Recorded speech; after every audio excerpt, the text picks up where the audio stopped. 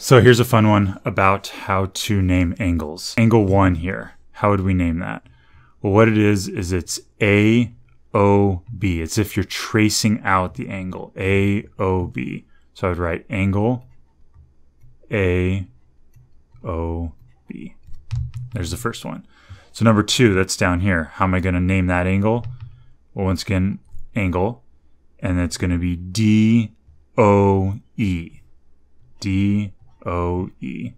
Now, if I said EDO, that would be wrong because EDO would be this angle right here.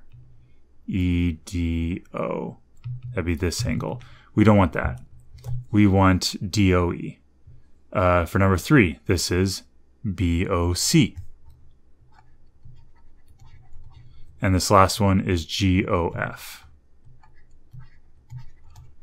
And last thing it says, please point to angle EOF. Well, EOF would be right here. So that's me pointing to it. That's it. So I hope that helped. You guys learn how to name angles. I'll talk to you later. Bye.